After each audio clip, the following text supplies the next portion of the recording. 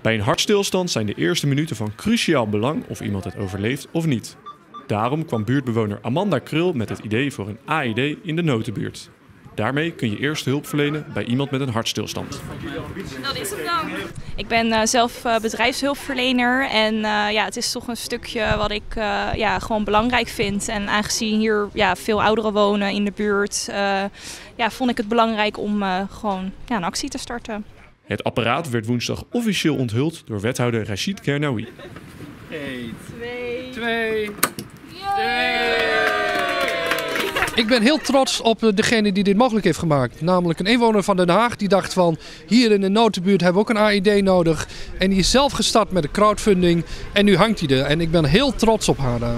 Met de crowdfunding haalde Amanda maar liefst 1660 euro op. Wat voor gevoel geeft dat jou? Uh, heel trots dat we dit met de buurt voor elkaar hebben gekregen. De rest van het bedrag is door de Hartstichting en Philips betaald. En de laatste duit in het zakje deed de gemeente.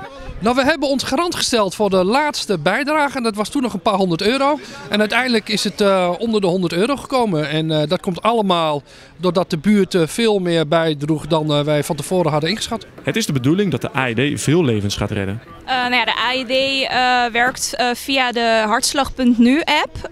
dat is een app waarbij je als burgerhulpverlener een, ja, een melding krijgt. is er een melding op een hartstilstand. Ja, hierbij krijg je dan ook de code om hem te openen. En ja, daarbij kan je hem dan meenemen naar de plaats uh, waar, de actie, ja, waar actie moet gebeuren, zeg maar.